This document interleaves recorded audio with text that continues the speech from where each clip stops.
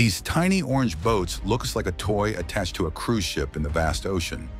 But what if I tell you this little lifeboat is designed to save hundreds, and somehow they all can save 4,000 lives? But how does something so small handle disaster at sea? Why are modern cruise ships putting so much trust in these enclosed pods?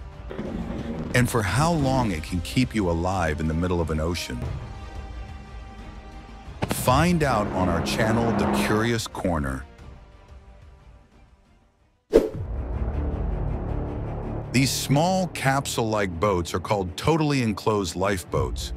They are tiny, sealed shut, and barely larger than a delivery truck. On average, each one can carry up to 150 to 200 people. But wait, how does that add up to 4,000? Well, a single modern cruise ship like the Symphony of the Seas can carry over 6,000 passengers. To meet strict maritime safety regulations, these ships are equipped with dozens of these lifeboats. Each boat is part of a carefully calculated system to evacuate everyone on board within 30 minutes or less. If the ship catches fire or there's a massive explosion, this boat doesn't just float, it fights fire while you're inside.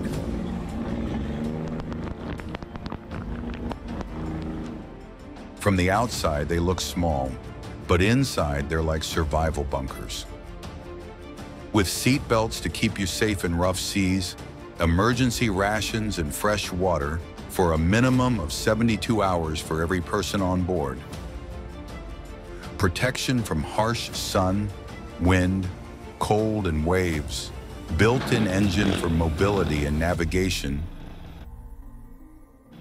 And advanced ventilation systems with basic waste disposal solutions to sustain crowded conditions.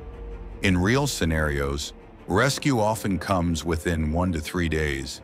But if needed, many lifeboats are equipped to stretch survival beyond that, under extreme conditions.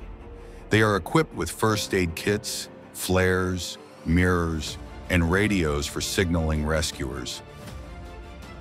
Now you might be wondering, has this design ever really saved that many lives? In 2012, during the Costa Concordia disaster, over 4,000 passengers and crew were on board when ship got struck by a rock. Despite chaos, the lifeboats helped evacuate thousands, some directly, others as staging points. In various cruise emergencies over the past 20 years, these lifeboats have successfully evacuated people in dangerous conditions, proving their worth again and again.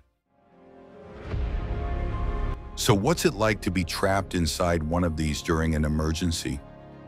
Claustrophobic, loud, hot, or cold, but safe. People are seated shoulder to shoulder. There's no room to lie down, but the boat stays stable even in 30-foot waves. It's not comfort, it's survival.